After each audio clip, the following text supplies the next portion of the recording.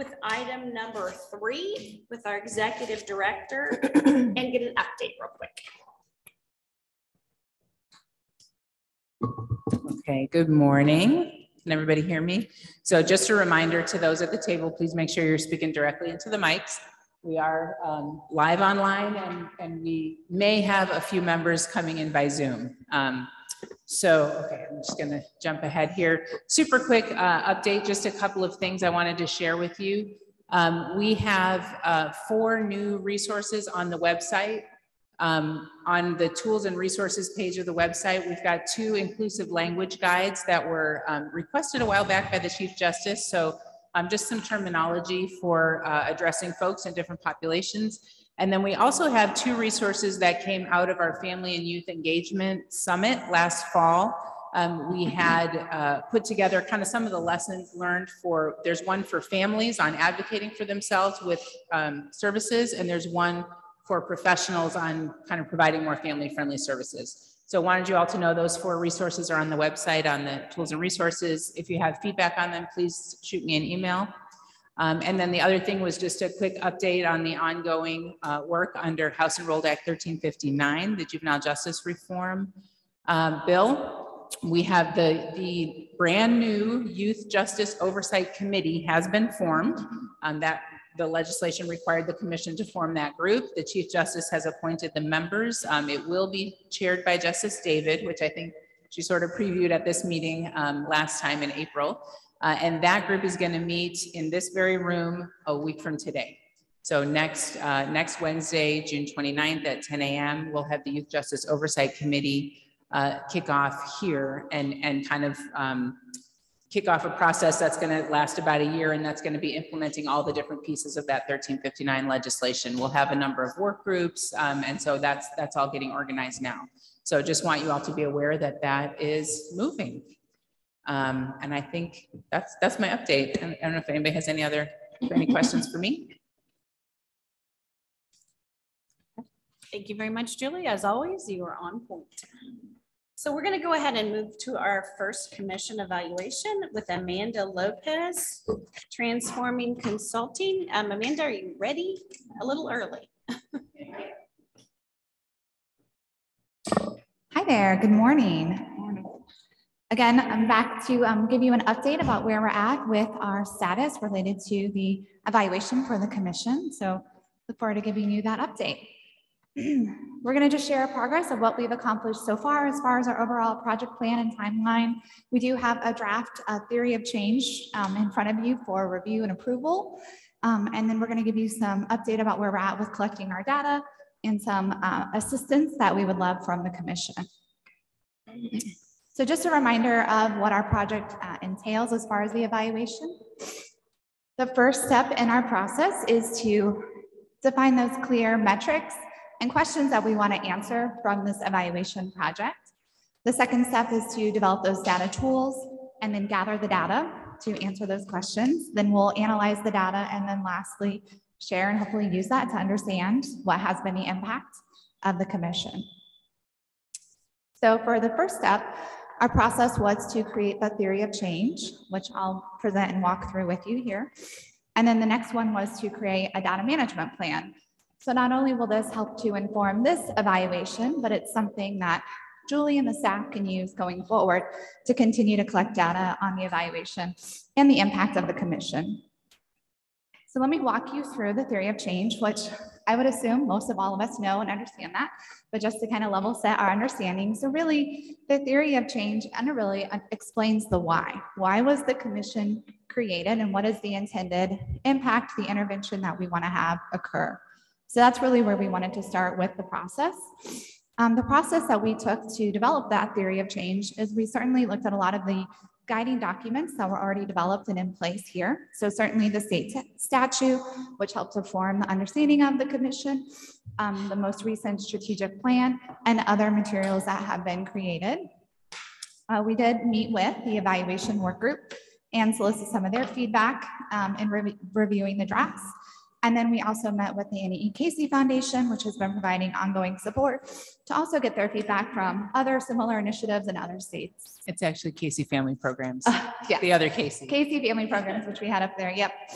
under that umbrella. So in front of you, which I realize uh, the audience here um, probably has a hard time reviewing uh, the theory, but hopefully the commission here has a draft in front of you to look at a very similar kind of model that you've seen before. So on the left side, under resources, those are the resources that we're using to invest. Uh, thank you, Julie. Yeah. Um, holding it up for you. Um, so we identified uh, the staff support that we have here. You know, there wasn't a full-time staff at the beginning of the commission, but there certainly is now. Um, all the different committees, the appointed members, the uh, work groups that have been formed, um, all the strategic relationships that have fostered. So the you know first column on the left identifies all those resources that are being invested in supporting the commission. Um, under the strategies, this is what the commission does, the tactics, and we thought it would be helpful and interesting to be able to break it out by what the staff does, those who are full-time dedicated to this, your you know army of task forces and committees and subcommittees, and then the you, the appointed commission members who are kind of under those. So you can see listed under there, each of them have very different roles, but all working collectively together. And then the right side of the logic model is really the so what? What's the change? What's the resulted impact or result of all the strategies the individuals who are investing here? We wanted to break it down into short term, what we hope to anticipate seeing the change occur over the next you know, one to three years, and then that longer term, more system transformation that we're hoping to influence.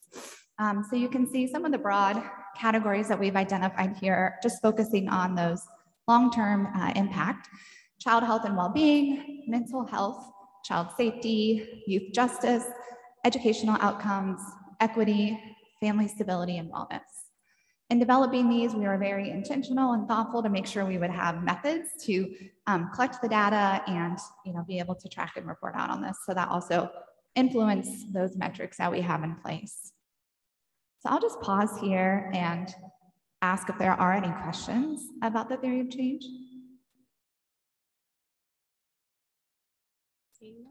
Okay, so I believe this is the action before you is for the commission to approve the proposed theory of change for the commission. So moved.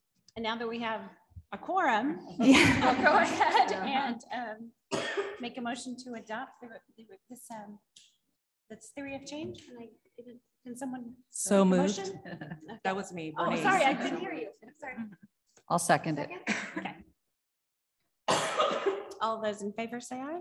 Aye. Opposed, the same. Okay, Great. thank you. Thank you. So just to give you an update about what's next and where we're at in the next steps of the process.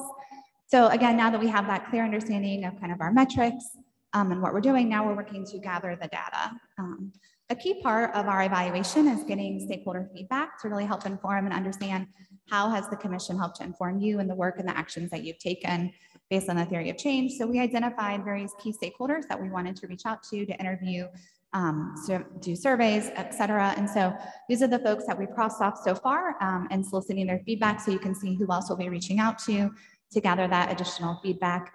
In addition to gathering that qualitative data, we will also gather some quantitative data, looking at those metrics that we've identified in the logic model.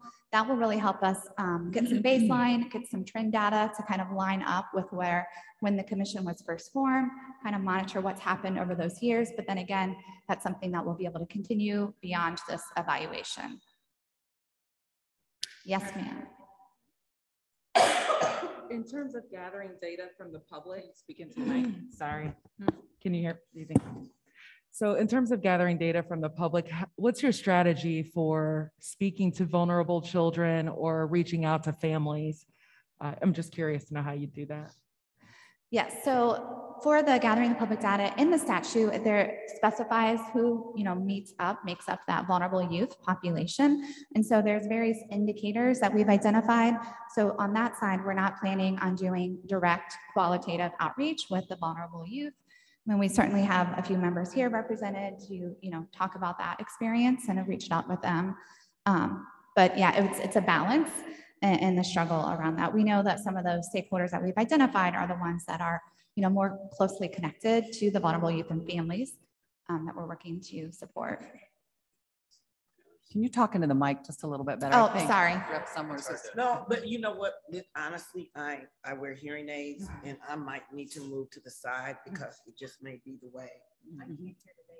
Okay, good. Oh, Yeah. Lord, have mercy, that ain't me. No, I'm, I'm. I will speak more know you- I'm- I'm clearly and loudly then. Such a hard- I apologize. Thank you so much. Sorry. Sure.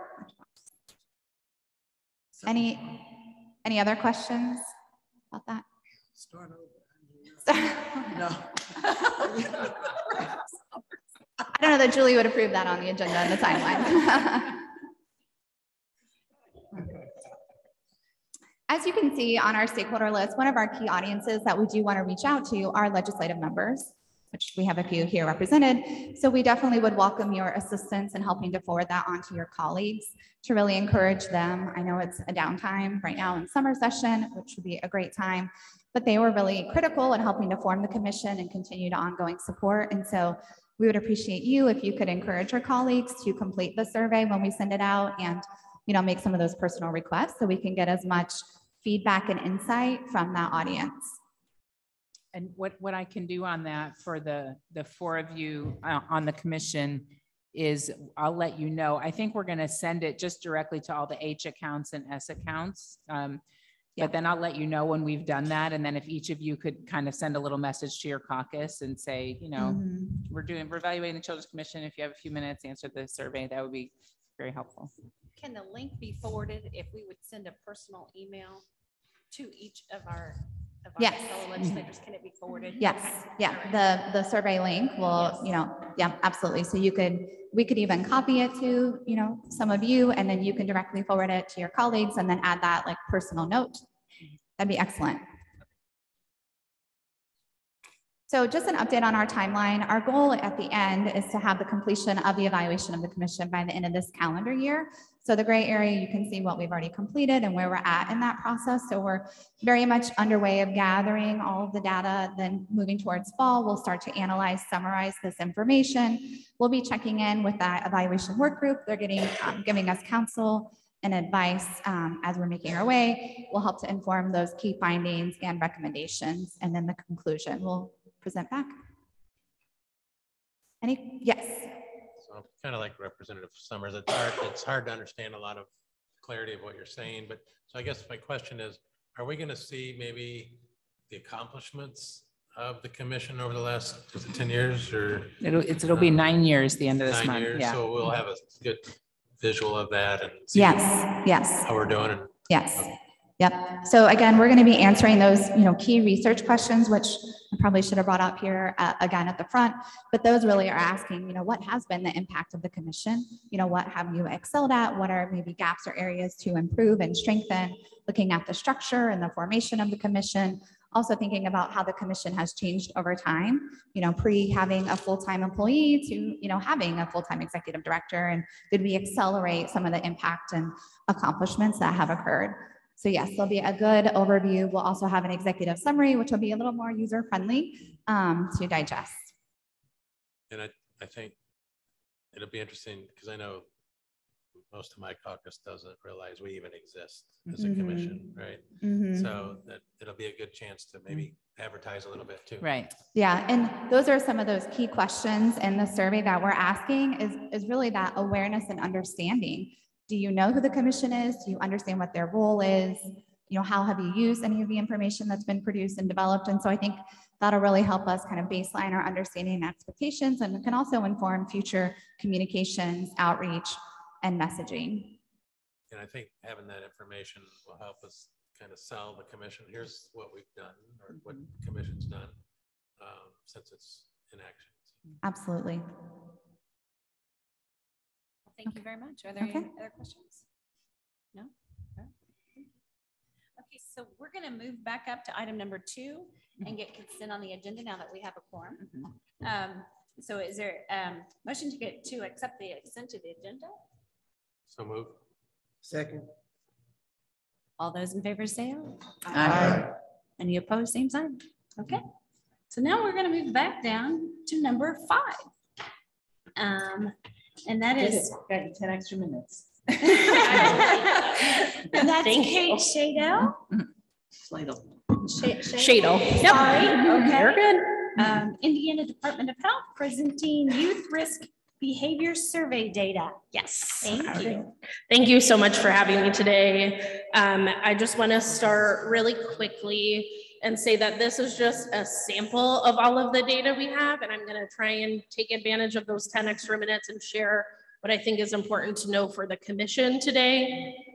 Um, just to get us started, the Maternal and Child Health Division sits at the State Department of Health. Our State Adolescent Health Coordinator and Adolescent Health Team are there nestled in the Maternal and Child Health Division.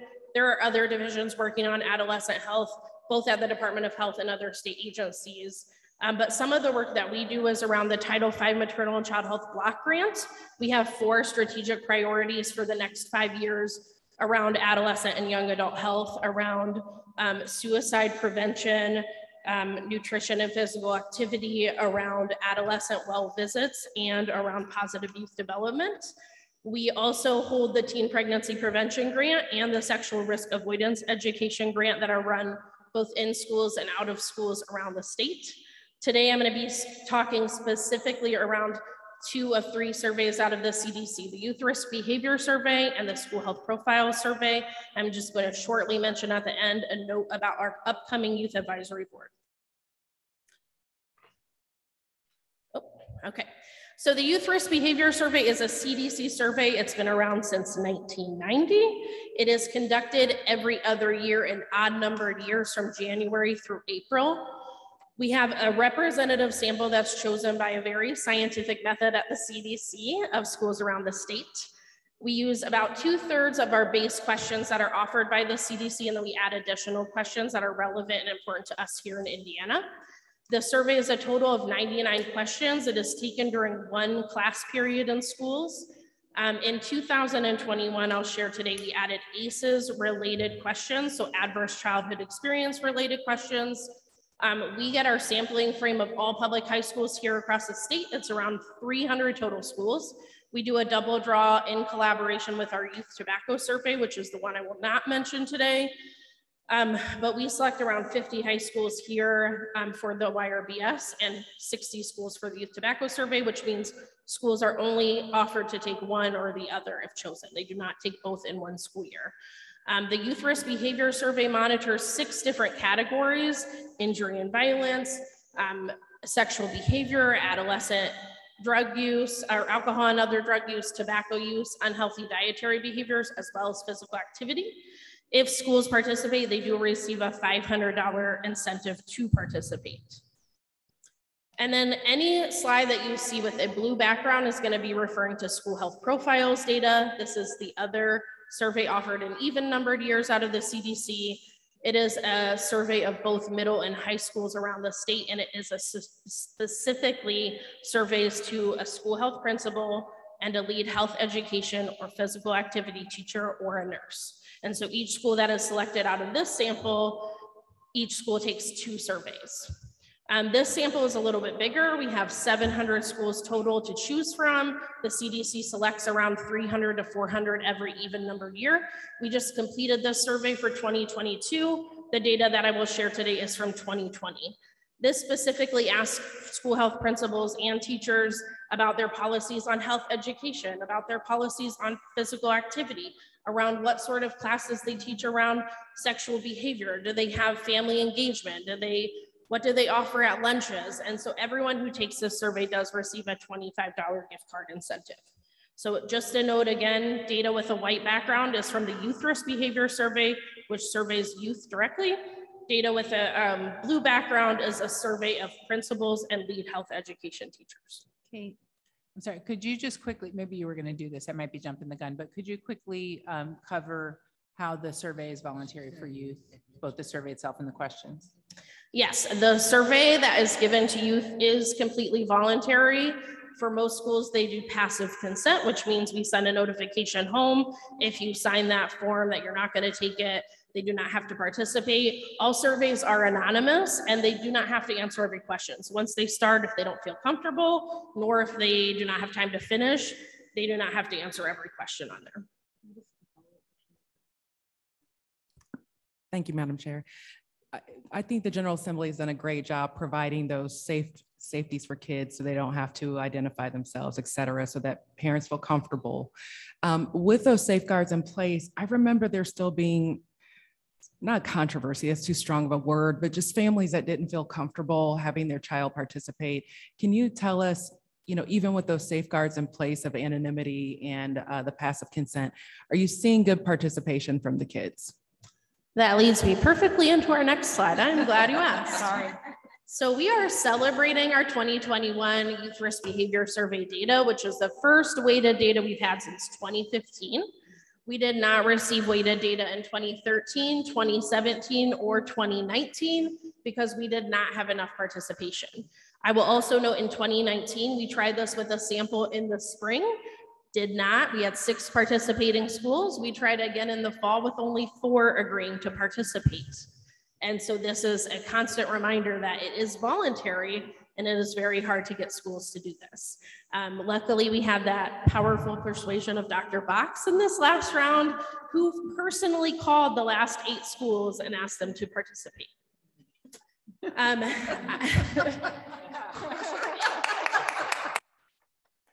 yes.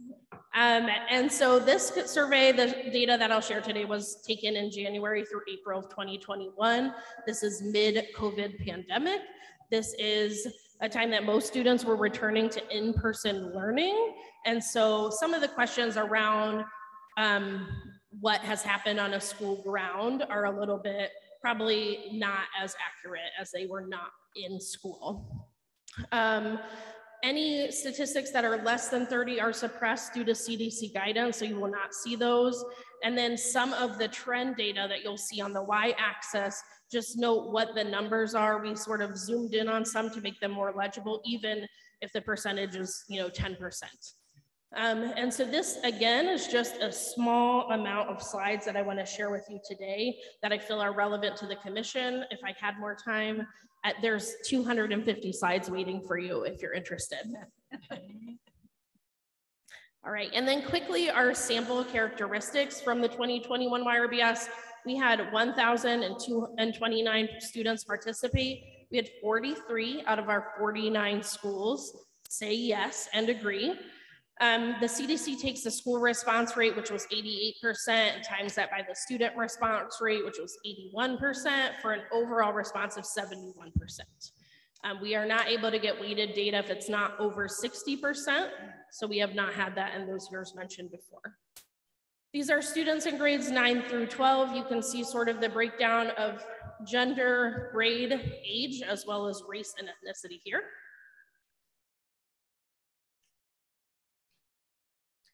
And then you can also see the sexual orientation of our students with about 76% identifying as heterosexual and then 24% as identifying as either gay or lesbian, bisexual, other, which uh, there is a note at the bottom, means I describe my sexual identity in some other way. And questioning, I am not sure about my sexual identity. And then a small percent answered not sure. So I'm gonna start with the general health and healthcare slide to just set the stage. We had less than 50% of students describe their health as excellent or very good less than 50%. And on top of that, we asked specifically, what about your physical health? We had 52.9% of students say it was not good.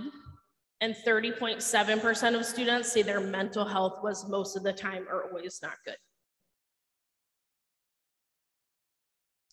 I also will mention that um, just 64% of students saw a doctor for a general health checkup when they were not sick or not injured, so that adolescent well visit.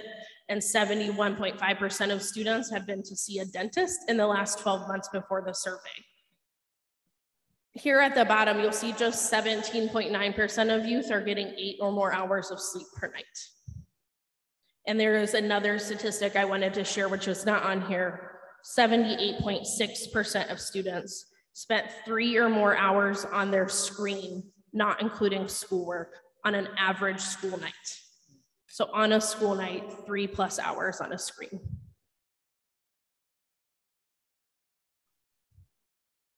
Okay, I'm gonna start with mental health here.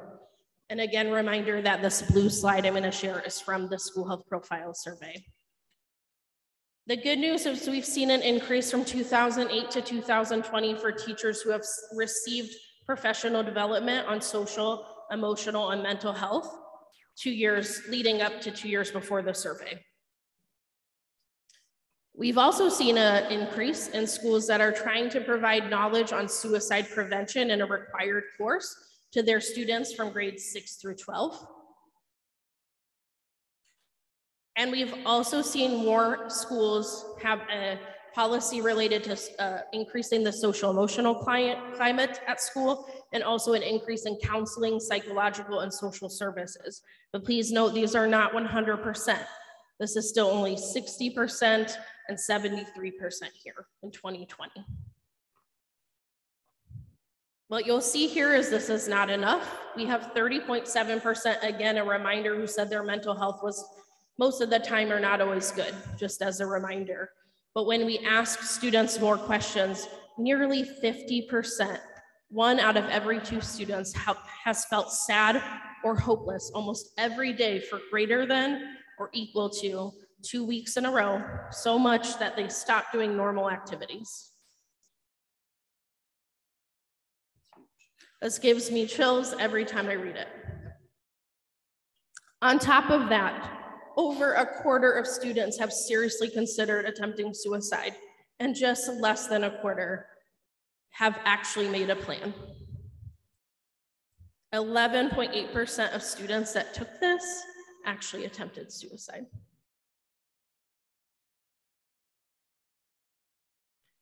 So I have some additional slides about those questions, just so you can see some more demographic breakdowns here. For students that said their mental health was not good, you can see a breakdown by male and female, by age or grade level. You can see a breakdown by race and ethnicity, and you can see a breakdown by sexual orientation. You can see a very high percent of female, multiracial, LGBTQ youth with mental health needs. I'm gonna go through these because they're the same trends. Percentage of students who felt sad or hopeless has almost doubled from 2015 to 2021. You can see the male trend line here in blue and the female in red. You're gonna see the same trend for those seriously considering attempting suicide. An increase again, but largely driven by female youth.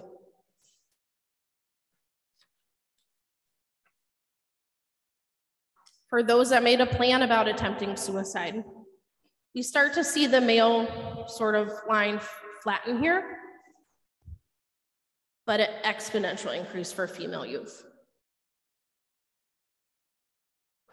And lastly, of those who actually attempted suicide, we actually see a decline in males here, but a drastic increase again for female youth.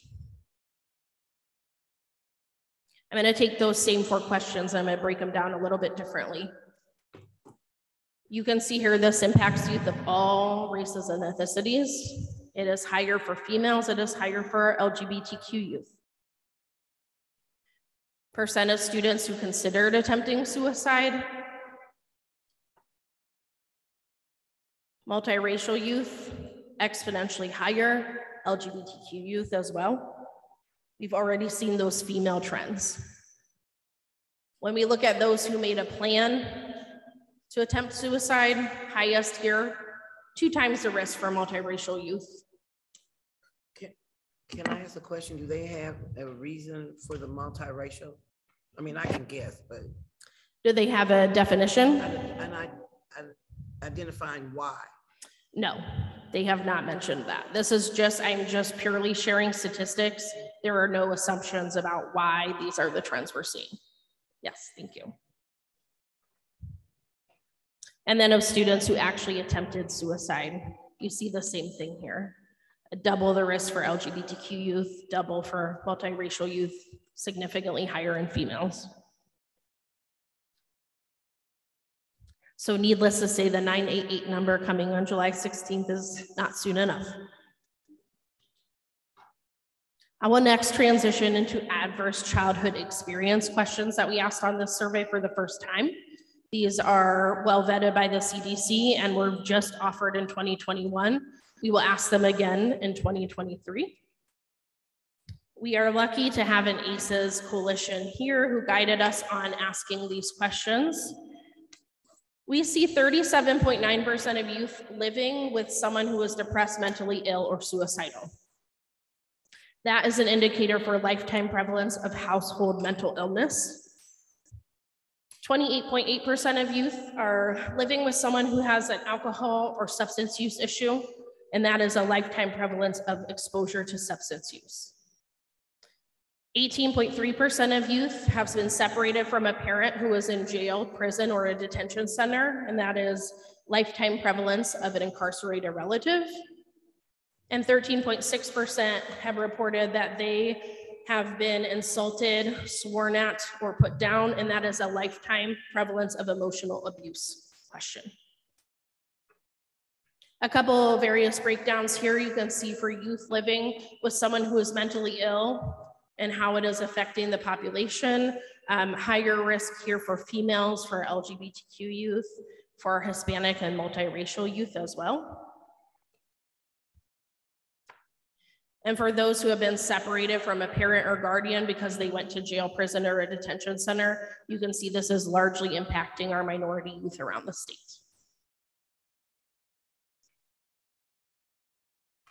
The last four questions that we asked related to adverse life experiences here.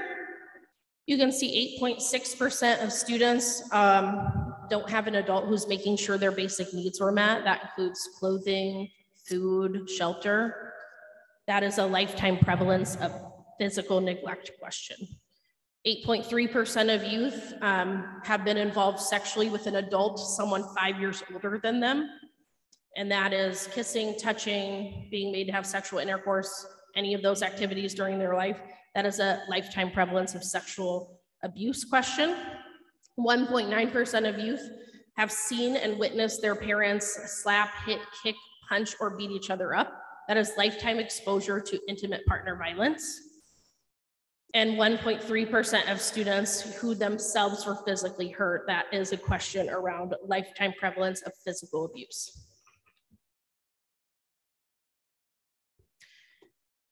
You can see here around that question around sexual abuse broken down by um, sexual orientation is largely impacting our LGBTQ population. Yes. Just a quick question. I, I think I know the answer, but you can't, with this data doesn't give you the ability to determine or estimate ACE scores for these kids, correct? Correct. Yes. So I will mention again that the ACEs screening is not a ACEs is not a screening tool, it is not to be used as a screening tool for high school youth. Um, there are tools on the commission's website that you can use that are related to ACEs outcomes. All right, and then lastly, I'm just gonna mention, we asked for the first time students if they um, felt that they were treated badly or unfairly because of their race or ethnicity.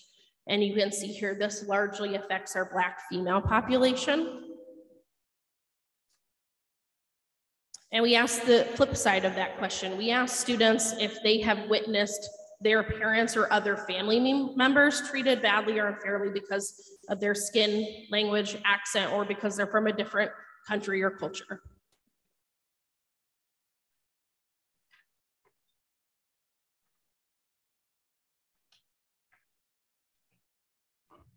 And then lastly, I'm going to talk about sexual behavior here. So I'm going to start with consensual sexual behavior, which is we have 31.9% of youth that have ever engaged in sexual intercourse with a 20.8% currently sexual act, sexually active. And that's three months before they took this survey. 5.2% of youth have engaged with four or more persons in sexual behavior. And 1.4 of youth have been early initiation into sexual behavior, which is before age 13. You can see a nice decline here for Indiana from 2011 to 2021, um, from 50% down to around 31.9%. When we look at students who have ever had sexual intercourse, you can see an increase as it goes 9th, 10th, 11th, and 12th grade. And for those who have had sexual intercourse with four or more persons during their lifetime, um, largely during that 12th grade year.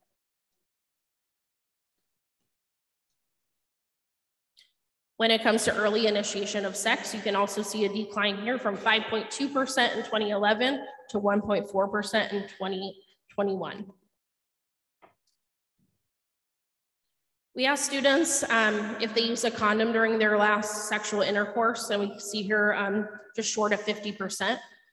And 42.4% of students who are um, on birth control pills, an IUD implant, a shot, a patch, or a ring we have 10.8% of our students who are using both methods, both a condom and birth control contraception. But we also have 9.5% of students who are using no method to prevent pregnancy.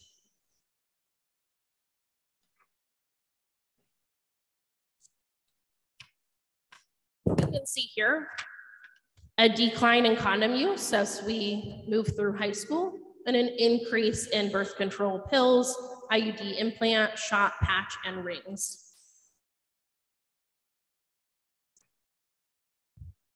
And despite students having sexual intercourse, only 6.9% are getting tested for an STD other than HIV, and just 5.8% are testing for HIV.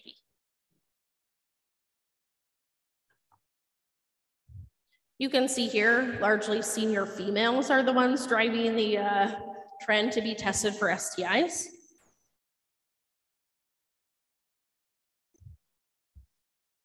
And you can see a decline here for those getting tested for HIV. Which brings me to the end of sexual activity that is consensual. And I will next move into sexual violence. We have over a quarter of students who reported someone they were dating tried to control them or emotionally hurt them in the 12 months before the survey. We have 14.2% of students who experience sexual dating violence. I'm going to skip down to number to the fourth question here. 9.8% experienced sexual dating violence with someone that they were in a relationship with.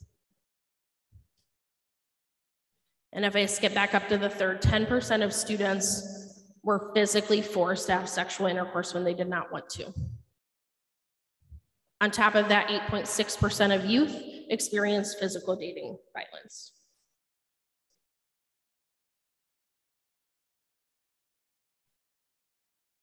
Here is a further breakdown of those who were tried to control, were controlled emotionally while in a relationship. So largely female and double the percent here for the LGBTQ population, two times the risk.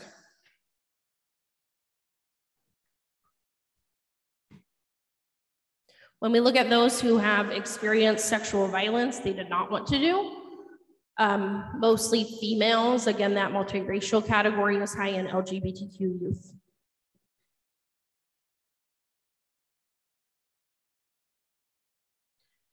And for those youth that experience sexual dating violence, you can see a decline here for, for males, but an increase here slightly for females.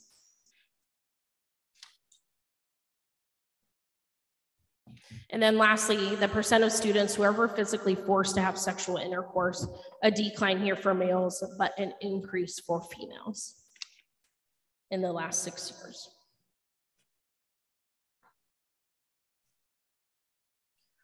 So I will note that youth are both sexually active and sexual victims. But we have 81.1% of schools that do not provide reproductive health services.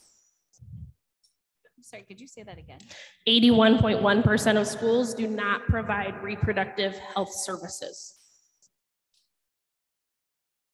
Is that just education or? In their school-based health clinics or via their nurse, yes. And if they don't have health services, very few of them are making referrals. You can see the referral rates for getting condoms or getting contraception use has declined in the past six years. We're down to about eighteen point four percent of schools that offer a referral. That means the school is not giving them out, they're referring them to re- reproductive health services. You can see the same trend here from 2014 to 2020. We don't have very many schools that are offering HIV testing, treatment, pregnancy testing, or prenatal care as a referral. So not on school campus, but they are not referring to an organization that can provide that for their youth.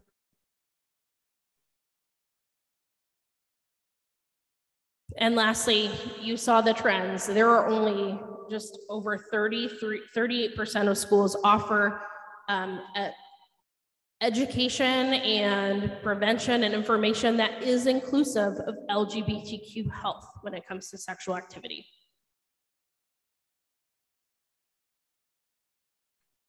And my last note here is back from the YRBS. Um, this is a decline. So this means that students are not getting sexual education from their parents or their family members. This is a decline down to 50%.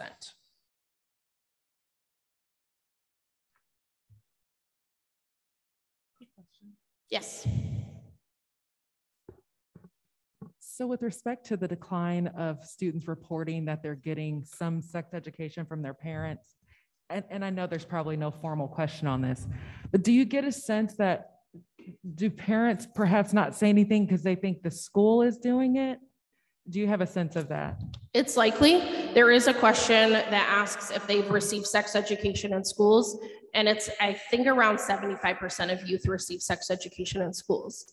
However, I will note that does not include what type of sex education. That could be just on HIV and STIs, which is under mandate here in Indiana. It does not mean comprehensive sex ed. It could mean abstinence education. Um, that's a youth's perception of if they got some education in school. Yes, sir. So I, I don't know if it's something we can talk to um, Kate about, our superintendent of our schools and, um, and is, our sex education or the consequences, right, of, of those actions, right? So I guess I'd like to dig a little deeper into that somehow, just because if we can stop kids from having kids, our, like, our life would be a lot better, and theirs as well. Well, the problem is, is that we don't want to tell them the truth. So when you don't want to tell them the truth and you don't want to give them the tools, you know, yes, sex feels good. Yes, sex can produce a baby, but these are the things you can do to not do that. Indiana is not doing that. They want, they're not doing that. Now, unless get your buddies to understand that we've got to tell kids the truth and give them the tools, that's not gonna happen. So- That, that, that is what's happening, that we're not telling, and, and not only we're not telling them, then their parents aren't telling them either. So, you know, they're not getting anything all the way around. Am I right or am I wrong? Yeah, I definitely feel, and I also feel like it's something that, um, it's an uncomfortable subject. I feel like parents need to be, um, included in it, you know, hmm. it's probably something that parents feel like that boundary wise, a lot of parents feel like they want to have that conversation with their child. So as a state, just making sure, even if we not offering it in schools the way we're supposed to, we have like support for parents to come to, you know, for, to empower them to have those conversations, hmm. because they do start at home, you know. Hmm. And probably no parent, well, I won't say no parent, but I know a lot of parents would probably be uncomfortable knowing that that conversation was introduced to their child without, you know, them being a part of it. Mm-hmm. But just making them feel, um, Part of it. yeah, mm-hmm. I think then what I hear you saying is they need to partner mm-hmm. yeah. and pick a time in the educational process where parents know and teachers know, and they approach it at the same time. But Indiana is not teaching our kids of any sort of sex education. And we're not, um, no, that's not happening. And until that happens, we're gonna continue to have you know, all of that, girl, or women, young women getting abused and thinking it's okay. So it's not only, it's not only the sexual part of it, but it's the, I'm a woman and you don't have to, you don't, I don't have to take that. Not knowing not knowing that, not being told you, just not, not knowing anything. You're walking around completely and totally not, not understanding. Hearing from your peers. Hearing from your, you're not your peers, your teachers, or your parents. I mean, mm-hmm. you're hearing from your peers, but you're not hearing the right thing. Mm-hmm. I'd like to echo what Representative DeVon said. I, I would like a deeper conversation around this topic because the data is, is of course absolutely distressing. And I guess from where I sit, this shouldn't be that hard. Um, you couldn't hear Thank you. me, We sorry. hear you at all. All right, my bad. You look a lot better. I just wanted to echo what Representative DeVon said. I do think we should dig deeper into this. It doesn't feel like it should be that hard. Um, and the damage, that the trauma that kids are suffering that could be avoided through information, education, and frankly, safeguards. You know, if, if a child makes it, a youth makes a decision that the adults in their life wouldn't want them to make, we still want them to be informed and able to protect themselves if they do make such a decision. So we could do better, and I would definitely like to talk more about this topic. And I just want to add, even with our, the LGBTQ community, the, the, the rate is much higher on everything. Mm. So that that means that they're not only getting hit with them being LGBTQ, they're also getting abused mm. and, and attempting, and, and their, the numbers are higher. And the numbers are higher on the multiracial, mm-hmm. racial, so those kids that are both, you know, for example, black and white, you know, they're having a hard time identifying who they are. And they're, you know, so we got a lot of work. to do. And I know if I can, Oh, I gotta take this as a Brad Barrett. and Julian, I don't know if we can chat with the Chief Justice, because I know her mental health symposium in October, if mm-hmm. that's dealing with any of that, or is it staying away from that completely? I I don't mean, know. I think it's primarily the intersection of mental health and the justice system and even more adult than youth. I think there'll be some youth stuff, so it, it may, it may not be as directly relevant to this. Um, as a gynecologist, I can tell you that one of the first things you have to do is define what is sexual activity, because many students will tell you they are not. And when you get more specific about various types of sexual activity and help them to understand they are sexually active and that STDs can also be spread that way. And, and I would also say that um,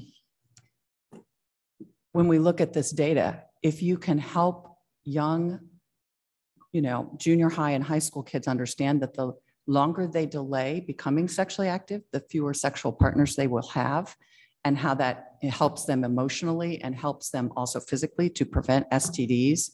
Um, so I, I think that there's a lot of great things we could do as a state, but this ends up being a local decision as to what they will let you do. My kids' high school let me come in and bring slides showing them STDs, talking about HIV and condyloma and you know, preventing your fertility in your future and talking about, you know, ways to prevent this. I mean, we preach if you're on an IUD or an oral contraceptive, you always use the condom with it. You don't even tell your partner that you're using this other contraception because then they're motivated to put the condom on. So there's a lot of really great ways we could work with this, but we, em- we encounter significant barriers in, in doing this around the state in some areas. Yeah, the only thing I would tag on to that is uh, having the conversations in high school is probably too late. Yep. You're gonna have them, they need to be a lot earlier. Yeah, it needs to be junior high minimum. All right, um, we need to stay on our schedule. Thank you so very much for all of your slides and information. Um, I did see a- an email, if you wanted to go into deeper, deeper dive. Um, I just want to mention that that's on the first slide. You can get that information from that email address. So, I have just two more slides if that is possible. Okay, I just want to talk really about the good things, the parent and social support. I did not pay you all to say those comments, but the good news is we have a lot of youth that feel like they are meeting their basic needs. Their parents are meeting their basic needs. We have eighty-five point two percent of youth that, um, you know, their parents know where they are, or their guardians know where they are, and seventy-six point seven percent who agree that um, they have consequences for their behaviors from their guardians.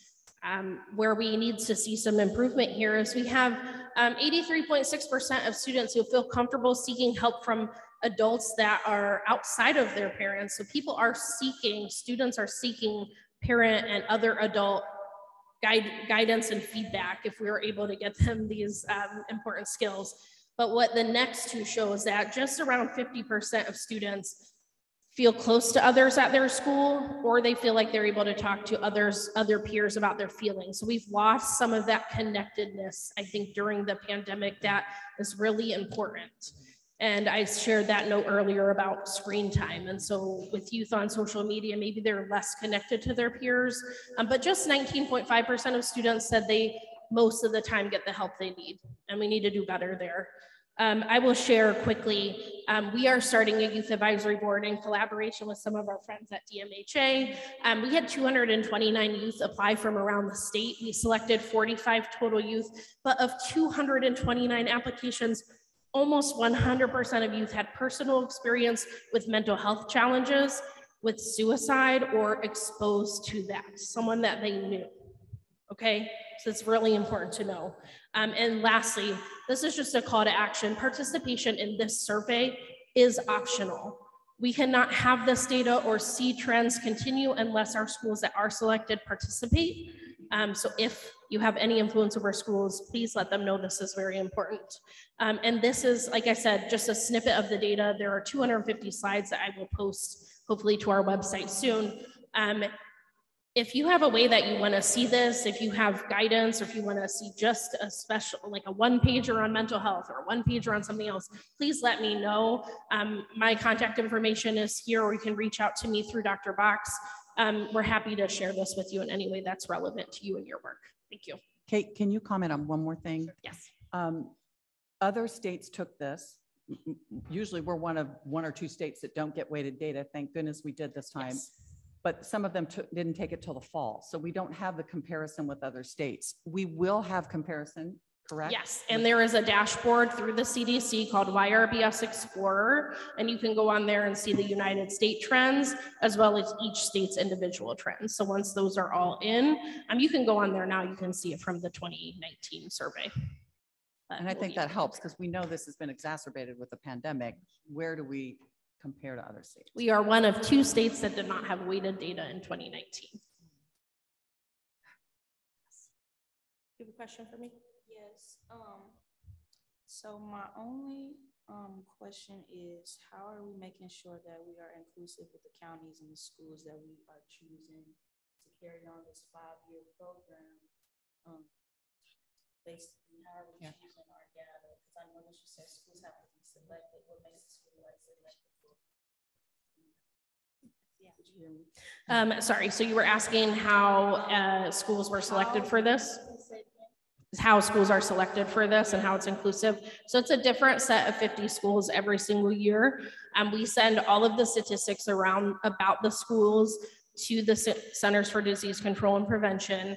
They um, ask for statistics as of like diversity of students, level, a number of total students, percent of students receiving free and reduced school lunch, um, urban, rural, or suburban designation. And so of the 50 schools that we we select, we oversample for ethnic and racial minorities. So 25 of our 50 schools categorize themselves as 20% or more as a racial um, or ethnic minority of students, and then 25% of other schools. So our schools are all over the state, and I've traveled to all of them and administered the survey. So I know they're they're a good representation from around the state.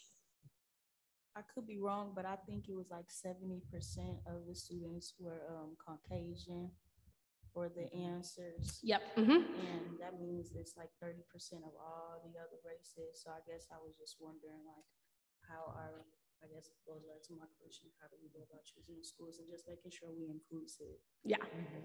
Great question. Yeah. And they go, um, we do over sample. So the breakdown of Indiana data is around ninety percent white of Indiana population and ten percent non-white. And so they, we oversample. So that 70-30 breakdown, at least um, we have weighted data in all of those categories, which means that any of these statistics you could take on a freestanding thing and say, you know, 50% of black students experience this, or thirty percent of female students are sexually active during their sophomore year. And so that's the, the method behind the madness that all of this applies to youth around the state if we get all of that participation. Okay, thank you very much. Thank you. Okay, moving on to, excuse me, moving on to item number six. Is Jay Chaudhary available online? Jay is on Zoom. Jay, can you um, unmute and say something so we can see if we can hear you? Yeah, can you all hear me? Yes. Okay. Yep, go ahead. All right, thank you. Thank you, Julie, for arranging the remote uh, option here. Um, I will do my best here. I, my brain was mush yesterday. It's sort of like steel cut oats today, so it's not not great. Um, but you know, I'll, I'll, do my best and uh, turn it over pretty quickly to uh, the real experts who are here to talk about um, some of the things we're doing with mental health. So this first slide here, I'm really regretting including this because it's supposed to be painful to stare at, which normally is okay, but right now is kind of hard for me. But um, I just wanted to illustrate that, you know, because uh, I'm, here, I'm here to talk about, um, you know, our plans and what we're doing with this influx of, of one-time federal money. Um, and, you know, the, the real challenge we have is that, you know, the, the mental health system um, as, as it exists right now in the state of Indiana and really most, mostly around the country is, is chaotic and broken and and and just really hard to navigate for both patients and providers. And and this you know i have a i have a whole thing with this slide you know talking about all the different um, the different uh, ways in which society and the different the fragmentation of of treatment providers um, you know makes it really hard to understand uh, exactly what to do with with, with that one time money. So I'll go to the next slide um, because i need to not look at that anymore. Um, so as, as you can see, um, you know, we have a whole lot of different funding sources, um, some of which are still unclear. For example, the opioid litigation um, is in its sort of final stages in terms of in terms of being done, but it's still not quite there yet. Um, and but all these different funding sources. Um, and our, our challenge is how do you you know balance the very real need to invest in in in increased access and bring more resources to the communities while also understanding that you know investing more resources on top of a, a, a pretty fragmented and chaotic system uh, may not be the best for, for, in the long run. And so uh, if you go to the next slide you'll see the sort of priorities we've come up with um, uh, to, to guide our, uh, our our approach here. That first one is you know building out sustainable structures um, you know I, I, think that the the problems with our system in a lot of ways are structural and kind of fundamental and you know we have a great opportunity here to um, you know to, to actually build out new structures uh, that that we think will um, will will be able to sustain better better access to services in the future. Um, we're also taking a look at just the quality of those systems, uh, and and I'll take I'll, I'll talk about some of those in specifics in a bit. Um, we do we are investing a lot in access, um, you know, with with with the idea that you know we want to take a look at the long term and not just the short term. And then finally, we've talked about it at every single meeting where where you know we where we talk about these things. Uh, workforce uh, is the single biggest limiting principle um, in terms of, of, of behavioral health care, but really human services in general. Um, no matter where we are, um, in the continuum, we have workforce shortages all the way from psychiatrists down to, um, you know, kind of frontline behavioral health attendants. And that's just something we have to recognize and reckon with and, and figure out a way to, to, to make a little bit better. So if you go to the next slide. Um, you know, we've talked about 988 a ton, but that is one of our sustainable structures. Um, you know, and and as uh, I think uh, the previous speaker mentioned, it, it is it's coming. Uh, you know, it's coming both quickly and way too late. Um, so as of July 16th, uh, we have to be able to answer calls to 988 in Indiana, and we're confident that we have the ability to do so. Um, you know, and much, much more to come on 988 in the future. I will note for this commission in particular that the first kind of outreach about 988 will go on student ID cards um, in in the fall. So uh, you know, in terms of having that number there as advertised as a behavioral health care crisis line. So we do expect to see an influx of of youth and adolescent calls to this to this network um, as, as, as we go live there. Um, yeah, I won't touch on these other ones. Um, just in interest of time, I'll share that the, the, the two presentations after this um, you know, I also sort of see as falling in this category. Next slide. Um, with access to services, the main thing I wanted to point out was our uh, community catalyst program. Um, and uh, you know, we we are um, we actually have made the uh, the uh, the decisions, and we're um, you know have notified the applicants. We haven't made a public announcement yet because we're still kind of working through logistics. But I'm happy to say that a significant amount of money will go towards children and youth serving um, uh, projects through this. So look, I look forward to making some more announcements there uh, in, in the coming month. Um, next slide. Uh, the quality system just wanted wanted to touch on. You know, we're, we're, we're taking a look at everything that, that, that we're doing, both the way our CMHC network operates, um, how our data system operates, uh, how our administrative code uh, can be an obstacle to, to progress and change. And so we're excited about that too. Um, you know, next slide. And finally, with workforce, um, you know, again, this is the sort of most important and, also one of the hardest things to crack with, with in terms of short-term um, short-term initiatives. Um, what, what I will say is, uh, you know, we, we are moving forward with residency opportunities through uh, through the uh, IU School of Medicine. So we're excited about that because the psychiatrists in particular can kind of create entire treatment universes like in and of themselves. You can fund a pretty robust treatment team with, with on a single psychiatrist license. So we're excited about that. Um, and uh, you know we're also looking for ways to both uh, re- retain existing existing provide existing providers and make sure we enhance their quality. So stay tuned for some announcements on that. And i think there's a real opportunity to really focus in on uh, children and adolescent uh, evidence-based and best practices um, that, that we hope to announce in the in the coming uh, weeks and months. So um, with that, that's a really quick overview. It's probably the best I could do right now. I hope that was that that was okay. But I'm really excited about the next two presentations because I think that they what they will do um, is they is they will illustrate specifics about how we are approaching this work. Um, uh, both of these projects um, are are uh, encompass multiple uh, sort of uh, strategies that, that that I mentioned earlier. So um, you know, this next one, um, before I turn it over to Tanya and Cindy, I just wanted to, to mention that, um, you know, we're super excited to partner with Child Advocates. And part of it is because, um, you know, we really need to beef up access to this very important program. But really, another thing to keep in mind is that because of this partnership, these kids and families are not only getting access to those services, they're getting access to a fierce advocate, which is what a lot of these folks need. And so, um, with that, I'll turn it over to Cindy and Tanya um, to uh, to dive into uh, what we're doing. Thank you, Jay. And you are ready to go, ladies. Hi there. So um, my name is Tanya Mary Malamba, and I'm just really excited to talk to you guys about our child mental health wraparound program. This is Cindy Booth, the um, um, CEO of Child Advocates. So she's going to be talking in just a minute, but I want to kind of um, talk a little bit about our program. I think both Kate did an excellent job of kind of framing a lot of the challenges and things that we're seeing um, as it relates to children in schools and how the state uh, is um, addressing some of those or where the state continues to need um, help and support and what we can do. And I also think Jay just kind of framed kind of the response that DMHA has um, is taken as it relates to what we're doing with some of the federal funds and things that we receive.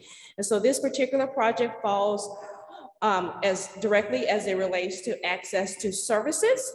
Um, the Child Mental Health Wraparound Program is a, um, this is kind of, at, a glance, it's not a new program. It's been around since 2014.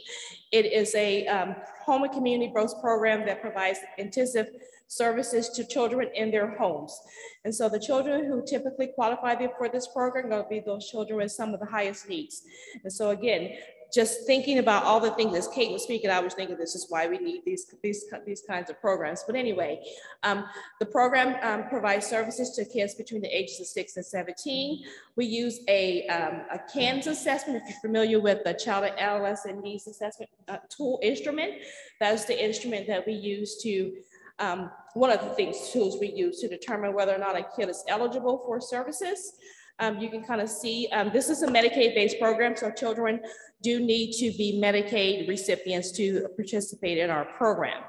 Um, we have a couple different service lines. I'm not going to get deep into the service lines, but just to give you a high level overview of what those services are. Um, we have wraparound facilitation. Our program is based off a national model. We work with the partner with the University of Maryland for our fidelity measures and, and other um, components of our program so we can be sure that the kids are getting the quality services they need. We also have a skills-based service called habilitation, again, providing those kids with the skills they need to kind of address some of the issues and the concerns that they may be um, feeling and, and, dealing with um, in their just life experience. We also have a service called respite, which provides that caregiver a break um, from just their caregiver duties and step away and, um, and, so, and also allows the kid just to have some fun. You know, sometimes we overprogram our children. They're in lots of therapy, counseling, sports, all kinds of things. So this is just kind of a fun um, break for the caregiver and an opportunity for the kids to just engage in just fun activities.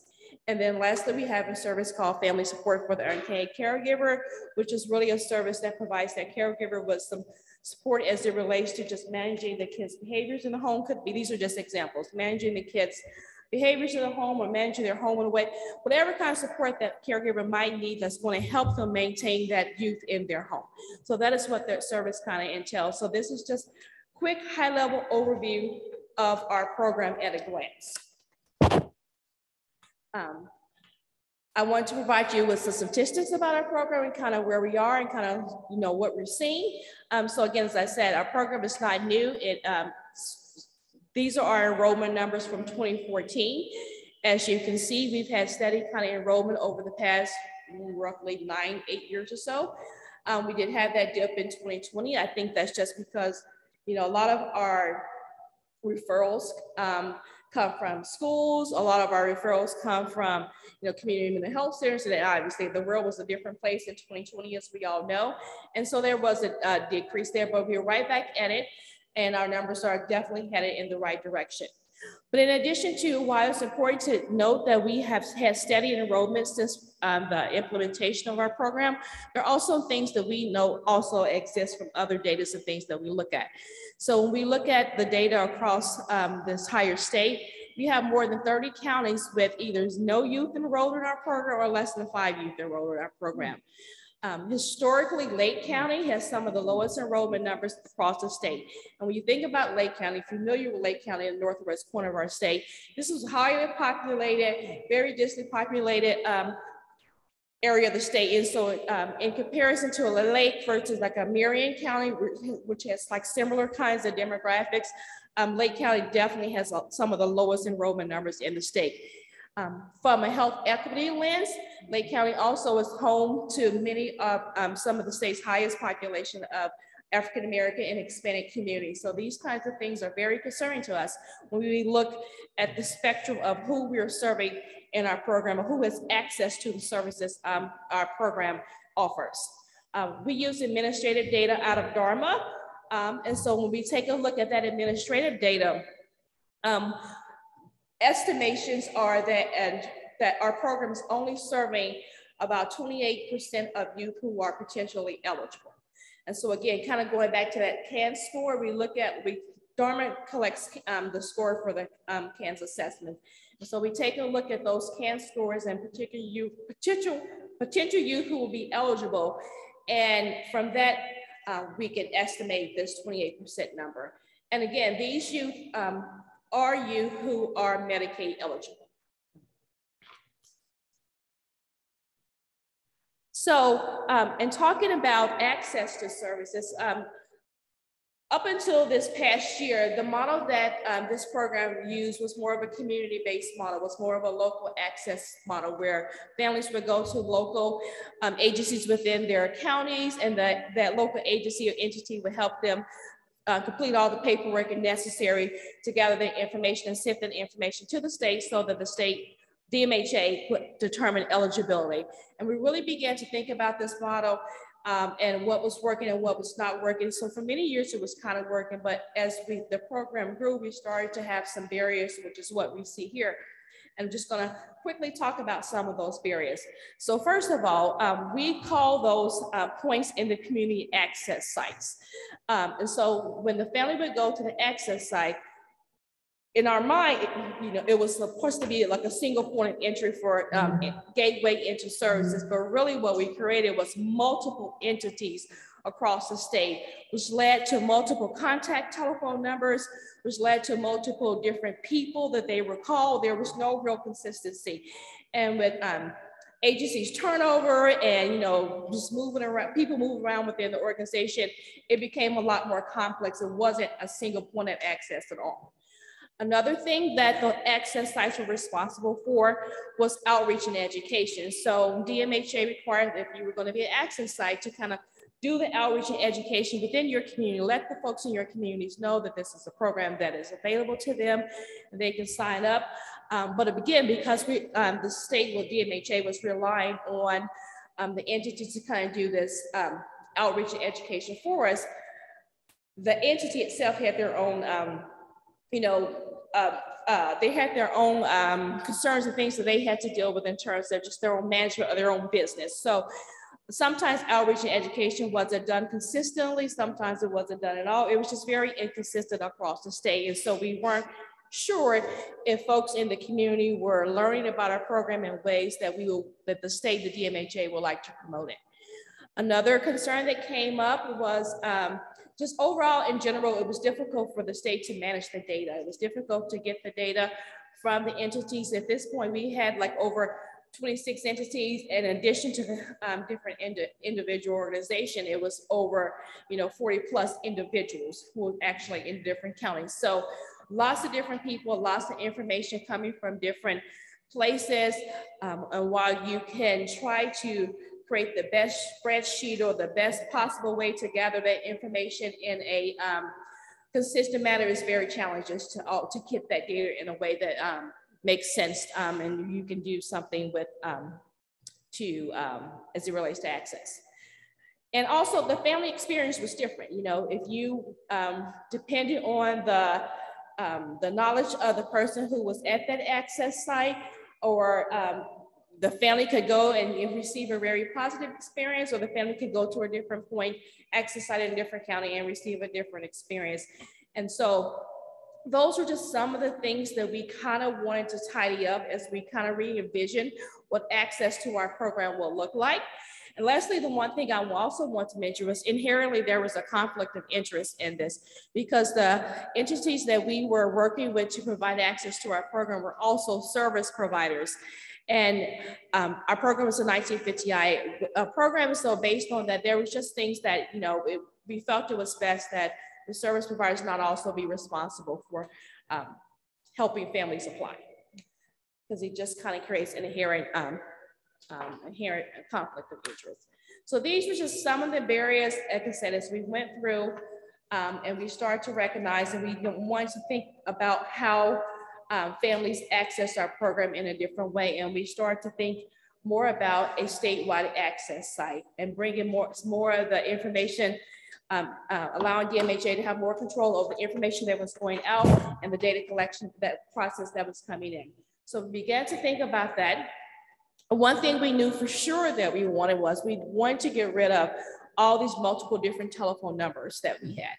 And so we partnered with 211 um, it was a pre-existing number that already existed. It allowed families to, you know, many people already knew about 211, but also allowed them to be able to um, get in, um, have other referrals for other resources they may need if they were to call that number. So you can call that number and you can ask for a wraparound referral, but also if you had other concerns or need other community-based resources, those uh, navigators at the 211 center could also refer the family. So we really thought that was a really good partnership.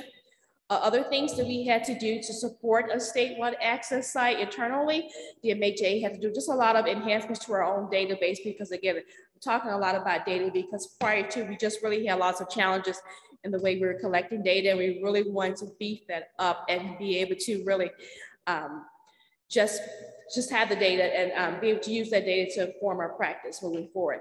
So we've just made a lot of um, enhancements to our internal databases and lastly, we created a web-based referral portal. So in addition to families or anyone, community members being able to call 211 to say, hey, I would like a referral for wraparound. There's also a web-based referral portal that anybody can go to. So um, on a phone, on anything, it's very simple. It's just some basic information that you would need to input there. And that um, referral portal, once they click submit, it immediately goes to the uh, statewide access site and they can pick it up from there. So again, as we start to think about um, this, what we wanted, we start to also think about partnerships and who we thought can do this. And kind of as Jay said, we really was also looking for someone who could be a true advocate for kids um, and kind of in, enters child advocacy. so I'll just let Cindy just go on and talk about her organization and kind of the work that they're doing, and we'll go from there. Thank you so much for including me today. I really appreciate it. And this is, uh, as you heard the need earlier, um, and the changes that DMHA wants to do this, this site. Uh, when, when Tanya called me and Jay called me, we, we thought it would be a perfect uh, partnership for us as advocates, but also as professionals who see, you know, what goes wrong when you don't have the services that children and family need. So Child Advocates has been working in the child welfare and delinquency system for 40 years, and we have a strong legal team with lots of um, experience and uh, people who've been around for a long time. We also have a strong knowledge and foundation about diversity and race equity that has been very important to us throughout our time. And so we, um, we decided that we'd like to take a look at this partnership. And so as advocates, we could believe, we believe that we could not only um, fulfill the performance of the grant as, as DMHA wanted us to. That is the process of getting families better access. But we could also observe and give indications of when we could be advocates for improvements in the system as well. So we believe that we could approach the statewide access site uh, with our child ad, uh, advocacy experience, our organizational strength, and also our look to data, particularly data related to disproportionality, which was very important to our development as an agency in the child welfare system.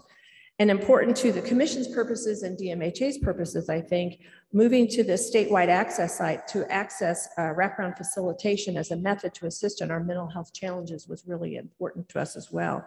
So our directives from DMHA were pretty clear. You heard that around, I think it was 28% of the children who were presumed to be eligible or who could access this site, it was only about 28% were actually accessing the services or those facilitation.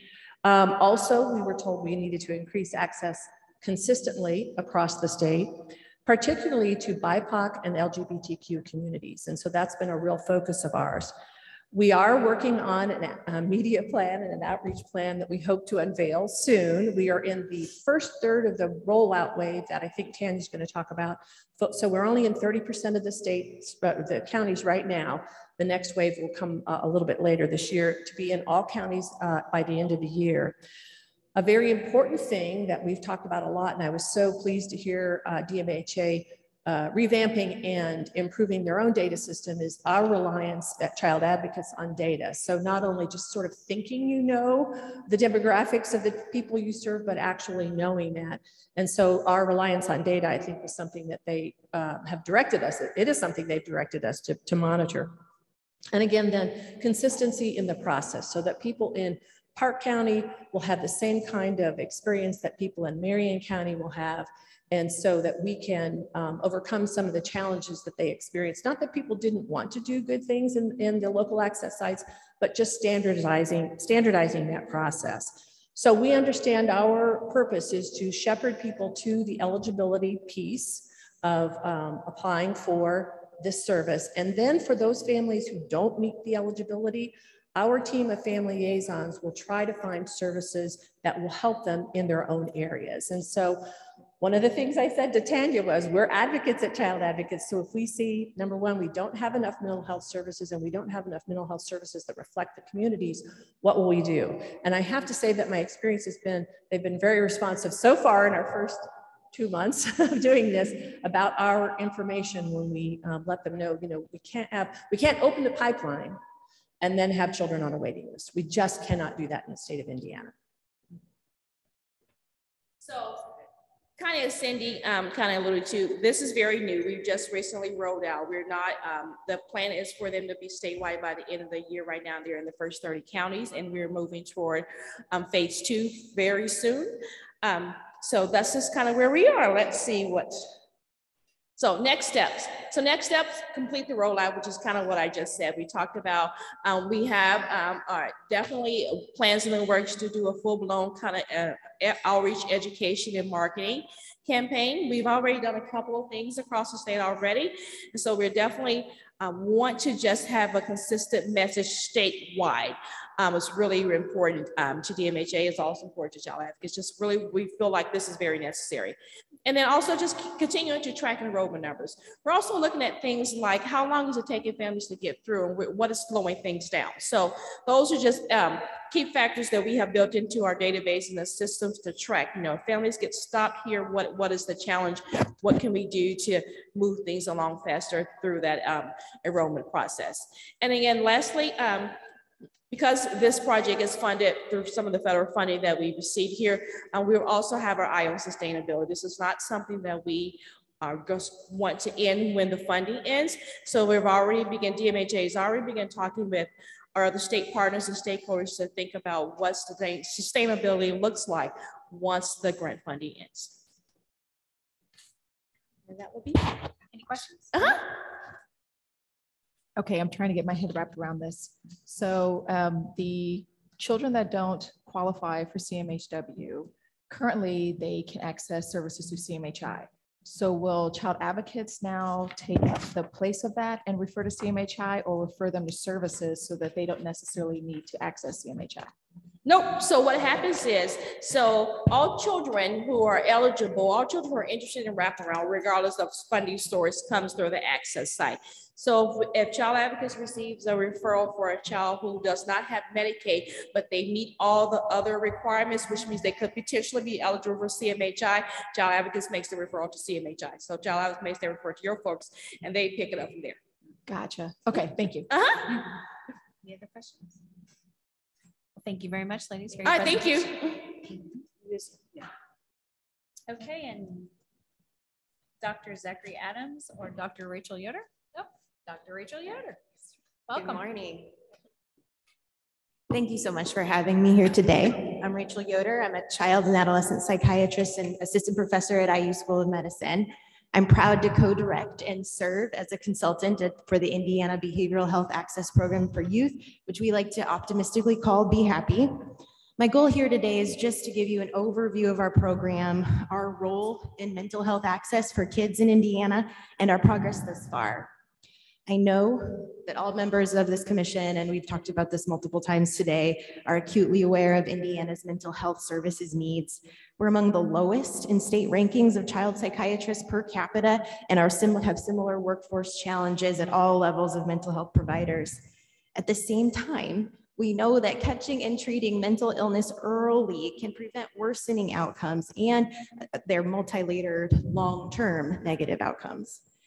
Rising to meet this challenge, we know requires a multifaceted approach and Be Happy, since its start in 2019, has been a key piece to the puzzle of increasing Hoosier kids' access to timely and evidence-based mental health care. What is Be Happy? It is a phone consultation line in which any provider throughout the state of Indiana taking care of kids with mental health concerns can call and speak with a child psychiatrist. These providers include general pediatricians, nurse practitioners, family medicine physicians, social workers, and others. These Hoosier providers, they are excellent and they work hard for their patients. We've been asking a lot of them in the setting of mental health workforce challenges. We also know, though, that only, for example, in pediatricians, one in three report sufficient training to diagnose and treat children with mental health disorders. They want to do more for their patients, but they want to make sure they're doing it safely and appropriately.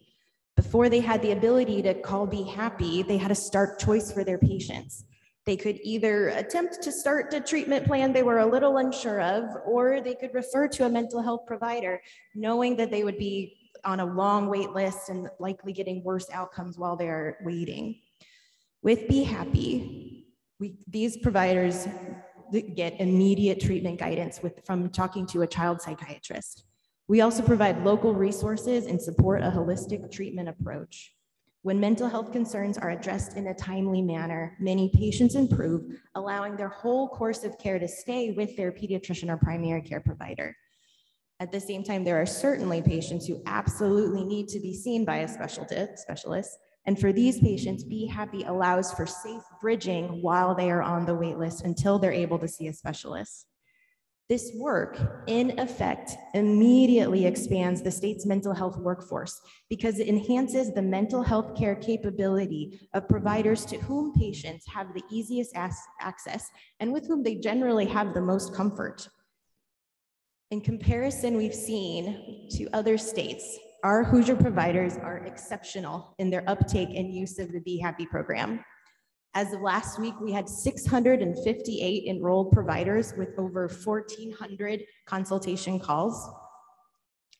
We've been able to expand our reach throughout the state and are continuously working to target areas in need with a particular focus on rural and systemically minoritized and underserved populations.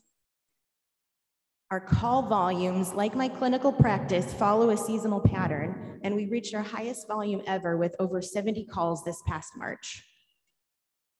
The Be Happy program gets phenomenal reviews from providers. We frequently see words like life-saving and lifeline, and I'm most excited that it's clear that outcomes of these consultation calls extend beyond the individual call as providers report using what they've learned with other similar patients.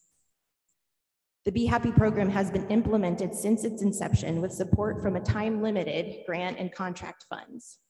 We are thrilled to have a little bit more breathing room currently, thanks to receipt this past September of the Health Resources and Services Administration grant through the American Rescue Plan Act. The HRSA grant was awarded to the Indiana Family and Social Services Administration Division of Mental Health and Addiction in partnership with the IU School of Medicine Department of Psychiatry. This grant allows us to continue operations, expand our outreach efforts, and initiate a free statewide monthly child and adolescent mental health educational echo series. Here's an example of our topics this year. They're informed by the calls we receive and are provided by experts in the field. They've been well attended by providers throughout the state and beyond, actually, and are reaching a variety of provider types and continue to grow in attendance each month. Since receipt of the HRSA grant, we've been able to conduct more targeted surveys with providers. I'll orient you here if you can look at the page with lots of colors and lines. Um, the green is good. That means they strongly agree or agree. The yellow and orange means disagree, and the gray means not applicable. We're happy to see that a significant majority of providers indicate they're more confident in addressing similar pediatric mental health issues. They've gained knowledge, they're better able to provide medications, they're more comfortable addressing mental health issues, and they state their patients receive mental health assistance more quickly through the program. We do see in that third line, a smaller majority indicate that they're able to guide their patient in obtaining therapy. We believe this reflects the overall difficulty with access to therapy throughout the state. And we're excited to share that thanks to philanthropic support through the Irsay and Simon Pacers Foundation, we're actively in the process of recruiting four psychologists to provide direct telehealth therapy for patients throughout the state who are struggling to find therapy locally. Our future goals include expansion to provide services to adults and perinatal patients. We have to take care of the parents too, and the need is clear, and similar programs in other states report high use of their adult and perinatal consult lines. We are similarly mindful of both the critical importance of this work and the time limited nature of the grant. So we're actively working towards a sustainability plan. And we very much appreciate the guidance we've received from members of the DMHA, Children's Commission, and others in this endeavor. So thank you very much for your attention and support. Thank you. Any questions? Yeah, Dr. Dr. Yoder, I want to say I love this program. This is teaching Amanda Fish, right? So Yeah. that we're training our providers across the state to be able to be comfortable to treat at least the basic mental health issues and screen for them in children. And now even talking about expanding that to perinatal, you know, substance use disorder dis- support and, and mental health. And as I go around the state and talk to providers, the ones that know about this are overwhelmed with this. They absolutely love this. So The more that we can do to support this and get this around the state to all of our rural communities, I think this would be amazing. I totally agree. Thank you so mm-hmm. much. Thank you. All right, and next we have our educational outcomes with Joan Smith.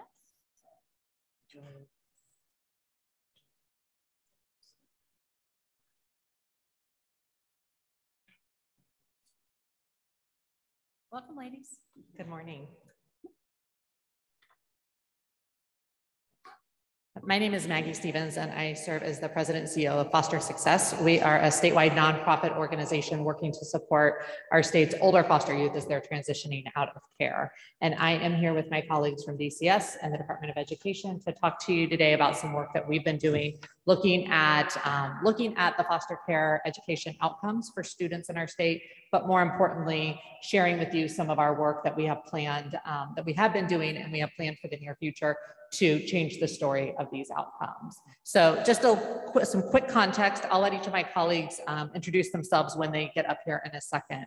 But uh, what I want to do quickly is give some context as to what got us here today, what the foster care education outcomes report is, um, and, and where we're going with it. And so um, this is the statute that was passed back in 2018, um, House Enrolled Act 1314 that Representative DeVon authored and Representative Summers co-authored. Um, and we are here and doing work with it. So thank you. Um, this legislation basically requires the state, the Department of Education and DCS to work together to track the education outcomes, performance, um, and non-performance of our K-12 students who are in foster care in a given year. So for the past four years, the State Board of Education has issued a report that has shared the data and the demographics. Um, through transitions uh, at the Department of Education, through everything else that we know our schools have been dealing with over the past two years. I'm really excited that over the past 12 months, we've been able to regroup with um, a new vision and really focus on what these numbers are. Because it probably doesn't surprise you that the numbers haven't changed over the past four years. They haven't gotten worse, but they definitely haven't gotten better. Um, we see very low numbers of our students who are in foster care finishing high school. Those who are finishing, a third of them are finishing with waivers, which means they're not meeting the standards and expectations that we as a state have put forth for them. Um, they're experiencing higher levels of suspension and expulsion, and my colleagues will dig into that in a second. Um, and that's been consistent since we started looking at this data a few years ago. We presented a similar um, presentation just two weeks ago to the State Board of Education, talking to them about some of the work that we are doing. And we are um, honored to be here today to share some of this information with you um, and, and would love your input and thoughts on where we take it. And as we start digging more deeply into the data, tracking some new data elements, um, we hope to continue to change the story. So let me turn it over to my colleagues to share some of the key findings from this past year um, and then some exciting work that we're doing. Hi, good morning. My name is Melena Gant. I am the Director of Education Services with DCS, and I'm also the state point of contact as it pertains to the Every Student Succeeds Act for the agency. Um, so I'm here today to uh, tell you about the key findings that we found with um, the report in this last year. Uh, as you heard from Maggie, they're not great, but we have a plan and we can do better. So 90% uh, of students in foster care were enrolled in traditional schools and public schools. Um, and only 5% or just over 5% were enrolled in public charter schools. Um, our youth were less likely to graduate on time when compared to their general population students. And those that did, like Maggie said, were more likely to uh, graduate with a waiver in place. Um, one challenge that we find with our graduates, graduates that they are learning earning less rigorous diplomas, which sets them up for uh, less to be less prepared for life after high school. Twice as many of our youth receive general diplomas um, compared to all students. And when looking at the honors diplomas, our general population students earned um, earned those at a rate more than three times that of our youth, our population. Um, that's, that's challenging. And then when we look at our retention rates, our youth are at an alarming rate of three times more likely to be retained than general population students. Another significant challenge is exclusionary discipline. Uh, we had a bill go through quite a while ago, 1421, House and Enrolled 1421, that uh, was about uh, more restorative practice in our discipline, and we really need to see that revitalized and really reviewed. Um, because our youth in care are twice as likely to be suspended and four times as likely to be expelled. That's huge. Four times more likely to be expelled. We know that exclusionary discipline does nothing for the education journey of our students. Um, however, while this information that I've just presented is a little disheartening, right? Um, we use this data and we took the, a more positive and collaborative step to better support the educational outcomes of our students. As you see here, we're much more collaborative than you've ever seen in the past.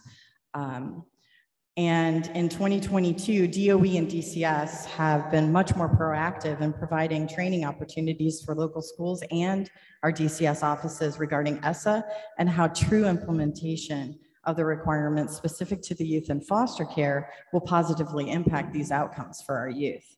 DOE and DCS also have a bidirectional data exchange in place through MPH um, that's going to allow real-time educational data to be shared on all students in foster care, and it's projected to be fully implemented by mid-year 2023.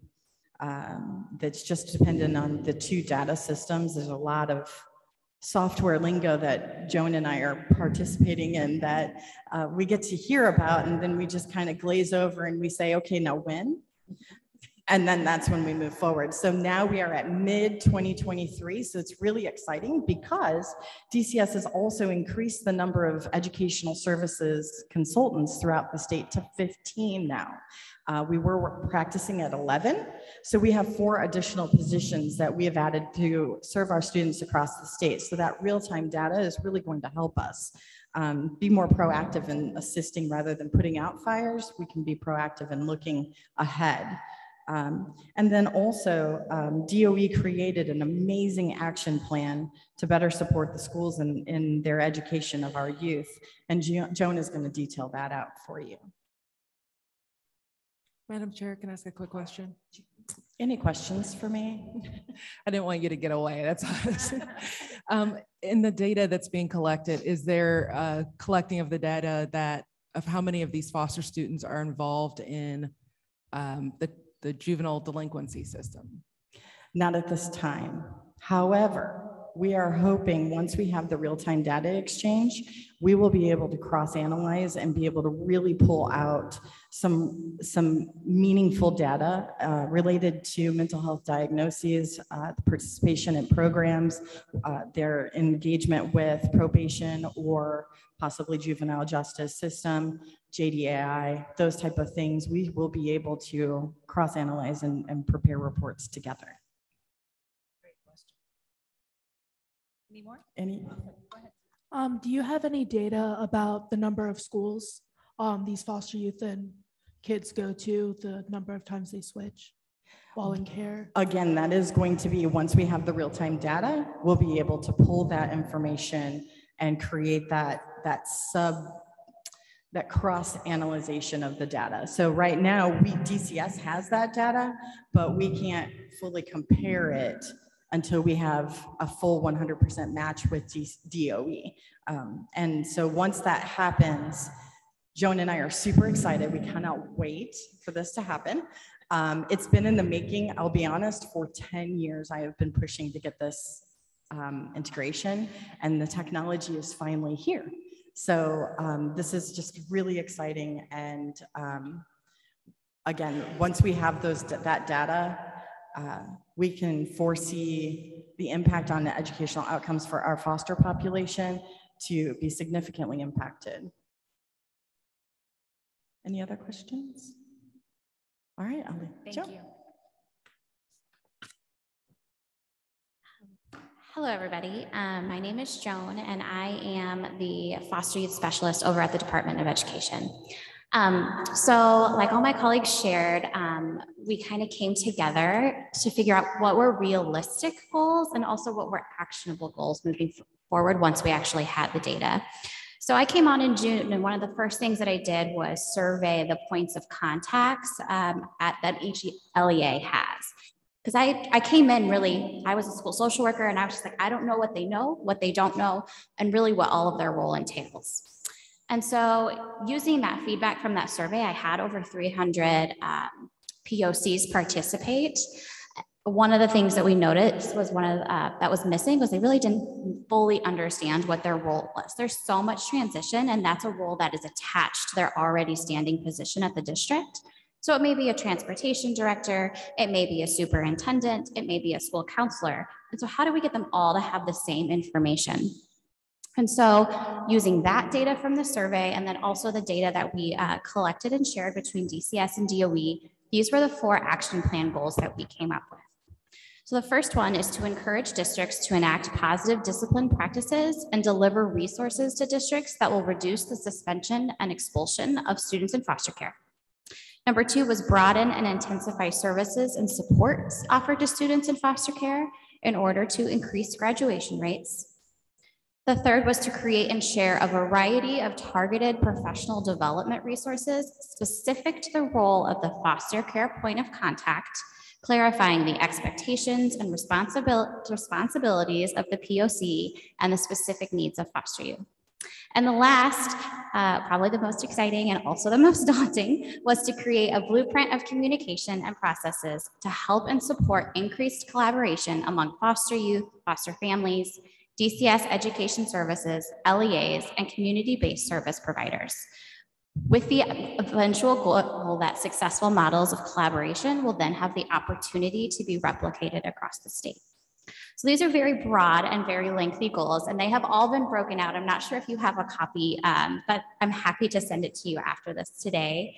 Um, and they've been broken out and, and follow very closely the homeless remediation plan with what can we do, what steps can we take, when are we reevaluating these goals, um, and, and moving forward on them. Joan, can you just define LEA, please? Oh yes, local education agency, so each school district. I didn't know what that meant before I even came here, so. So what have we done thus far since we uh, established these goals?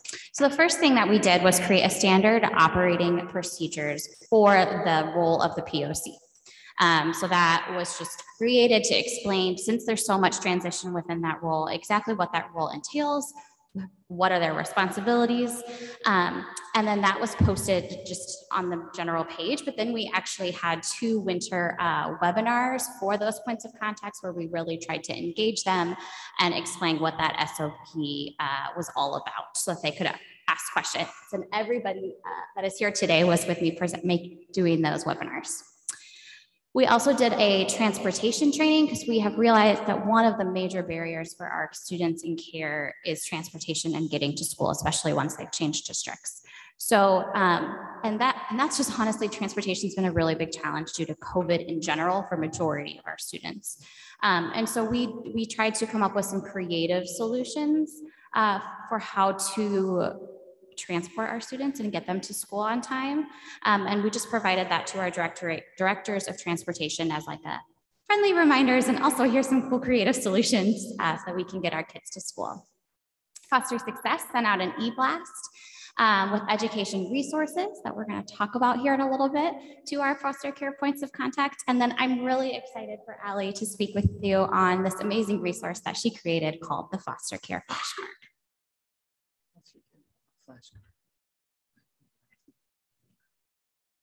Hello, my name is Allie Leonard, and I will be a senior this fall at IU Bloomington.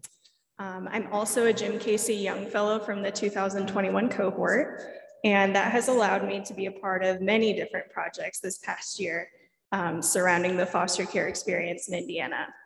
More recently, issues in education um, that I have personal passion on improving, and I partnered with these ladies and my peers to develop a youth engagement resource for administrators and teachers, and hopefully anybody who really has contact with foster youth in K through 12. Um, this is a culmination of my peers and my own experience in transferring schools and or homes. Um, and what was found was that foster youth struggle to gain social capital and intentional and consistent contact with adults had a lasting influence on their choices in the classroom. This could mean anything from motivating them to even mitigating behavior issues. Um, I had positive and negative experiences, and if it weren't for the counselors at my first high school, I probably would have never known how to apply to college on my own. Um, and the two points that I really wanted to highlight on this card is to ask and not assume, because taking the time to meet the young person where they, where they are at represents that their progress matters. Um, and the youth are more likely to engage. The second point I wanted to highlight is to be involved in their response plans. And this is to make sure that it's appropriate, especially given how much of their day they spend at school and in your classrooms. And I will pass it back to Maggie to finish up the details. So I'll, please feel free to look over that and engage with Allie after I wrap this up here in a second. But as you can see, um, this really has been a joint effort to try to increase our resources for our educators very broadly. Um, so as it says up there, we are working to more broadly share that foster care flashcard, um, clean it up a little bit. We've sent it out as a PDF. Um, but we want to get these tips and ideas in the hands of educators across the state. Um, so we're actively working on that at Foster Success. Um, and related to that, I'm going to go out of order on what's on the slide. We are working in collaboration again across all these organizations to put together a one day conference in September for educators across the state. So we anticipate about 500 individuals coming together um, to learn from and with our youth who experience foster care. Um, Allie's jumping on board with that. We're going to bring some other young people on board to help us think through this. Um, what I really appreciate about what Allie has brought to this presentation, to all of our work, and what she continuously reminds us to think about as we plan for this conference is we're not going to spend the day telling only the bad stuff, right? Telling about where systems have failed young people. Unfortunately, we know those stories, we know they're out there, but we really want to focus on who and what have made a difference for our young people as they have moved through our systems, specifically in the education system. So she's already connected us to a young woman um, who's going to present, who is now teaching because of teachers who helped her through her work. And so we're really excited um, to get the word out, bring people together and have these conversations and share these resources more broadly. Um, additionally, again, as Joan and Melina said, we are creating more and more professional development opportunities for our educators. We did the transportation training. We're going to be working um, on a, a, training for judges to look at ESSA laws, what needs to be considered when these cases are in the courtroom, and we're looking at where our kids are going to school and how they're performing. And so um, we're just really excited as somebody who's been involved with this work since 2018 when the legislation was passed um, seeing the, the progress we've made in the past 12 months is very rewarding and very exciting. Um, and again, I'm hopeful that in a few years, when we look at these numbers again, we really will see um, the numbers that we want to go up will go up and the numbers we want to go down will go down. And so thanks for, for thinking through this with us. Um, I'll open it up to questions. You probably want to talk to them more than me. Um, but thank you again for your time today. Go ahead. Yeah, not, not a question, just a comment. This is beautiful. And I think it's a good reminder for everyone. So great job, Allie. Yeah. I'm always proud of what you do, but this is fantastic. Good to see you again. Yeah. But we're gonna give these back so that you can give them to the teachers. The There's, teachers. there's plenty, please. If you oh. would like to utilize it or share it with colleagues, please feel free to keep it. If you don't, we'll take them back, but please, we do have plenty. So. Keep it. Okay, so just another comment. You keep them because if we have any of our young people testify before committees or something, I think this is important for our legislators to have. Yeah. So I think it's good to keep. Mm-hmm. It, it's just a comment and, and I'm just excited to see what you guys are doing. Uh, it wasn't just to get data. I, I mean, that was the point behind it, but to see where you're taking and you see the needs and fill in the gaps. Uh, we got to continue to do better. I remember when this young lady over here, Dejana, was, was speaking to legislators and, and kind of tugged at our heart. And um, this is just one step, Dejana, that we listened to what your cry was. And uh, we got to continue to do better. And I'm, I'm excited to see what we're going to do better at.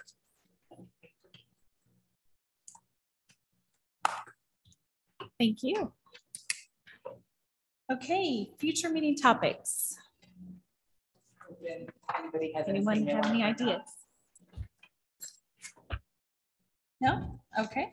Real, sorry, real quick. Uh, this week I got Terry, meet with Terry Decker and we got to visit um, two of our juvenile correctional facilities in the state of Indiana, one in Logansport and one in um, LaPorte. And uh, they're doing some really good stuff education wise there, I believe.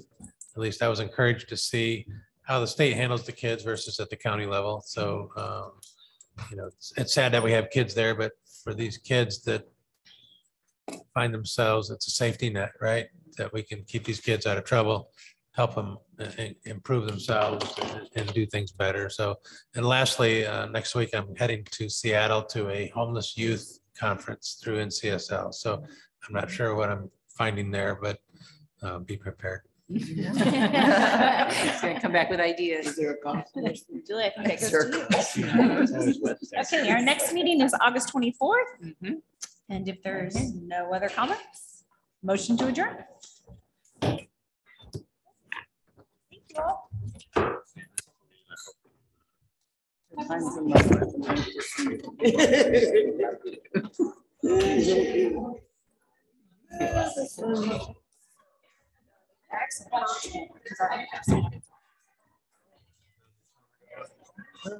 Summer.